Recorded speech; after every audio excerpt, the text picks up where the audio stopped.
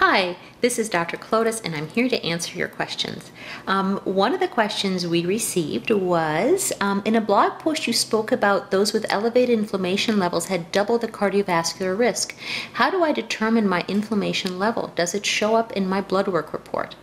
Um, so, inflammation is in fact a risk factor for many diseases from a heart um, from a heart disease perspective, um, inflammation is part of the components that drives atherosclerosis, the buildup of plaque in our arteries. It's actually, that's an inflammatory process in part. Um, and so reducing inflammation in our systems helps reduce the risk of cardiovascular events. Um, a good way to measure inflammation is actually not with a cholesterol profile, it's with something called C-reactive protein or CRP. Um, typically for heart disease, we, we get even more specific and it's something called HSCRP or high sensitivity C-reactive protein. So that measures very, very small levels of inflammation. Um, and people with higher levels of, of HSCRP are at increased risk of these out of the blue events like heart attacks and strokes. And that's probably because as they have more inflammation in their blood vessels, their plaque is less stable, meaning it, it can break down and cause these out of the blue events like heart attacks and strokes.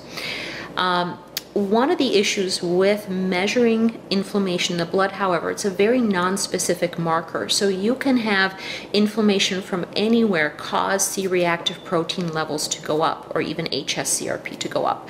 Um, so, you know, if you have a urinary tract infection or arthritis or you recently, you know, bumped an elbow or something, you can have an elevated C-reactive protein level that isn't necessarily indicative of cardiovascular risk, but it is something we can measure and it can be useful in, in certain circumstances.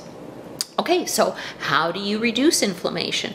Well, the, the, the best way to, to do this is to avoid the things that cause inflammation. Some of this is easier than said than done. Um, stress increases inflammation, air pollution, smoking, um, inactivity, poor diet.